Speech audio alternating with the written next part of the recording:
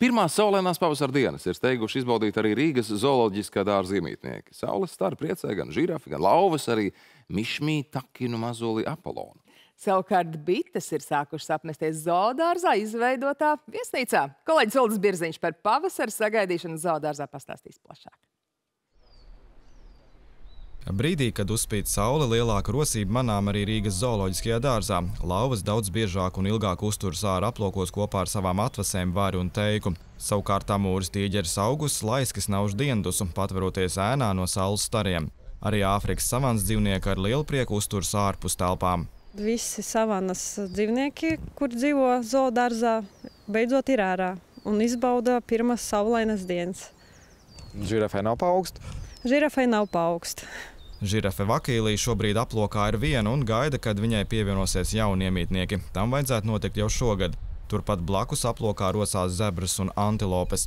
Savukārt Gelēdas pērtiķi ik pa brīdim sarīko kārtīgi jandāliņu, nespējot sadalīt labākās vietas, kur sēdēt vai gulēt, vai sastrīdoties par pārtiks krājumiem. Šobrīd viņi atpūšās. Šad tad viņi arī uzvedās ļoti skaļi, ka viņus var dzirdēt pa visu zoodārzu bet nu, ātri beidz arī strīdēties. Kamieļa tēviņam Nisilinskim pavasarī nevien jāuzmana dāmas, bet arī jāmaina kažoks. Savus kažoks mainīt sākuši arī zirgi, govi, saites, brieži un, protams, lūži, kuri no balgan pelēkiem toņiem kļūst rudāki, lai ar vien vairāk saplūst ar dabu. Mainot spalvu, viņa, viņam spalvā izkrīt vietam, nevis vienmērīgi, bet kušķiem. Un, tad var likties, ka dzīvnieks nav sakopts, nekop sevi, bet tas, tā, tas tā nav. Tas ir normāls process. Dažus mēs ķemmējam, kuri ir pieredzināti. Kas ir pieredzināti? Kamieļus var paķemmēt.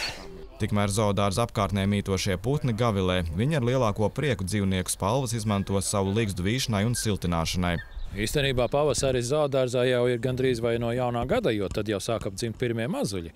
Lauku sētā kazlēni piedzima, tad vēl tākinēns ir piedzimis. Tā, jā, smējās Nīlzergs par mums.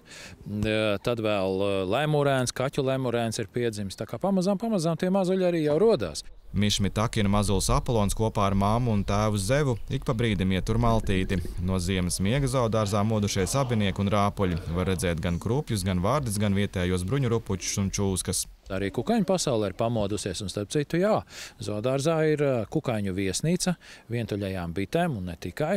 Tā kā šī vietiņa šobrīd ir ļoti interesanta, un jāsaka uzreiz, nevajag baidīties, iet apskatīties to visu tuvāk. Tās nav mājas bites, kuras var visai nikni ņemt un aizsargāt savu ligzdu un var arī iedzelt. Um, Vientuļajām bitēm ir diezgan stingrs, stingra nervu sistēma. Viņi, viņi ne, neizpaudīsies ar, ko, ar dzelšanu. Šobrīd priekšā vairākas vēsākas dienas, bet, ja pa dienu uzspīdēs saulīti, tad dzīvnieki būs atkal ārā, ārā aplokos. Ulds Birziņš, Rolands Veikša, Latvijas televīzija.